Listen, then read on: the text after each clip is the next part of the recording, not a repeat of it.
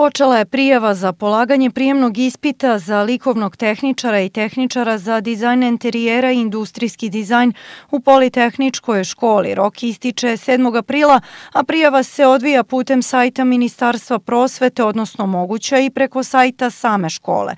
Kako objašnjava direktor ove ustanove Iso Planić, i ove godine se organizuje pripremna nastava s tim što će se odvijati u Googlovoj učionici. Kada se učenici, dakle, uloguju na sajt Politehničke škole, preko linka se povežu sa Ministarstvom nauke, prosvete i tehnološkog razvoja, popune online obrazac, dobit će jedan ID broj. Na osnovu tog ID broja, on je dokaz da su se oni prijavili, na osnovu tog ID broja, kada ga screenshot, kada, kada snime ekran i taj snimak pošalju Politehničkoj školi, mogu se prijaviti za pripremnu nastavu za polaganje prijemnog ispita.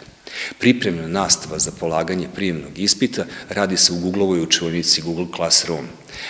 Na takav način će budući učenici Politehničke škole pre polaganja prijemnog ispita imati priliku da se u Googleovoj učionici online druže sa svojim budućim profesorima i pripreme za polaganje prijemnog ispita. Prijemni ispit se sastoji iz tri dela, crtanja, slikanja i vajanja, a one učenike koji se dobro pokažu i upišu jedan od dva umetnička smera, očekuje sticanja raznih veština tokom četvorogodišnjeg školovanja, dodaje Planić. Učenici se tu uče kreativnim veštinama, crtanje, slikanje, vajanje, grafika, multimedijalne umetnosti, fotografija, Dakle, one veštine koje će im pomoći da se nakon četvrogodišnjeg školovanja u Politehničkoj školi prijave za studije likovnih umetnosti, primenjenih umetnosti, dizajna, arhitekture, i sličnih e, visokoškolskih ustanova. U školsku 2020-2021. godinu Politehnička škola upisuje po 10 đaka